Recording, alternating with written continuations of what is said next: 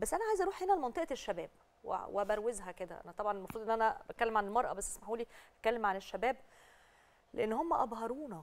يعني بعد كذا استحقاق سياسي بدأ الشباب ينور الشباب المصري يفرح فتم التركيز معاهم فتم الاستماع ليهم فتم الاستفادة منهم ومن أفكارهم فتم توظيفهم في أماكن كثيرة جدا في مفاصل الدولة فأثبتوا جدارة واعتمدنا عليهم.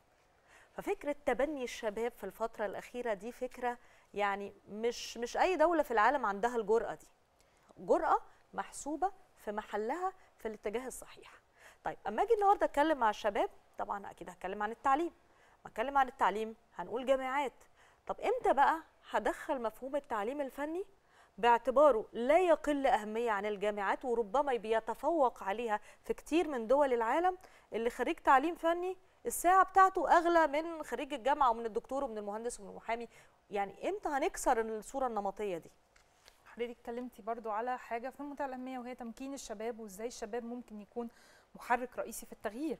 يعني إحنا. شفنا النهارده إنه في المواقع التنفيذية لما شباب في اعمار العشرينات العشرينات جد- جديا يعني بقوا في مواقع زي مم. نائب محافظة أيوة. بالكامل بياخد هذه القرارات مم. لملايين المواطنين مم. حرفيا وقبل بلاء حسنا للغاية يعني مم. مقارنة بخبرته مقارنة بعمره بالعكس الشباب دايما زي ما حضرتك قلتي عندهم الجرأة لأنه أنا في- اللحظة دي مش هيبقى عندي الكتير عشان أخسره ومش هيبقى عندي انغلاق فكري نتيجة تجارب كتير حسيت بعدها إن أنا ما أقدرش أنا حاسس طول الوقت إني أقدر وحاسس طول الوقت إني لسه كده طازج زي ما بنقول وجرأة محسوبة مش متهورة صح. وراها كمان آه وراها. وعي أم وأب زي ما حضرتك قلتي مهم قوي إحنا بنتحاور في إيه في. البيت مش. هيطلع كده فجأة ده شيطاني ده على فكرة وكمان إنه الشباب يكون عندهم الانفتاح الكافي إنه إحنا نستفيد إزاي من تجارب الكبار وإزاي. نستفيد من الخبرات الكبيرة فيبقى في تكامل مش يبقى في أي نوع من أنواع الإقصاء فسواء في الموقع التنفيذية أو حتى في مجلس النواب الحقيقة النهارده. لما بيبقى برضه نواب في عشريناتهم وفي ثلاثيناتهم يحملوا هموم المواطن في الشارع ويعبروا عنها بشكل جاد دي تجربة مهمة جدا. التجربة اللي أنا جاية منها تجربة شباب تنسيق شباب الأحزاب وال- والسياسيين وإزاي مكنت شباب بشكل جاد من كل الأحزاب والأطواف الأطياف السياسية. دي. كانت حالة حوار حقيقية بدأناها في الفضاء العام من أربع سنين علشان أنا وأنا جاية من تيار معارض أقعد مع حد من أقصى التيار اليميني ونقدر نوصل لتفاهم ما علشان إحنا الاثنين بنحب هذه البلد بجد.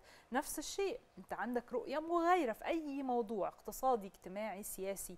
إزاي نلاقي مساحات مشتركة؟ وده بالمناسبة هو طبعا هو مم. مفهوم الحوار المساحات المشتركة. المساحات المشتركة اللي بتحافظ لي على ألوان الطيف السياسي اللي هي حالة سياسية صحية جدا في أي دولة. الفكرة مش إن إحنا بنقصي اللون من الألوان السياسية أو ما بنسمعوش أو بنقمعه أو بنعمله ريجكت لا بالعكس ده كله موجود على مائدة واحدة. كله بيتكلم كله بيقول رأيه كله بيسمع بعضه كله بيفهم بعضه قرب وجهات النظر. صحيح. في الآخر أصل الهدف واحد ما هو الهدف مصر.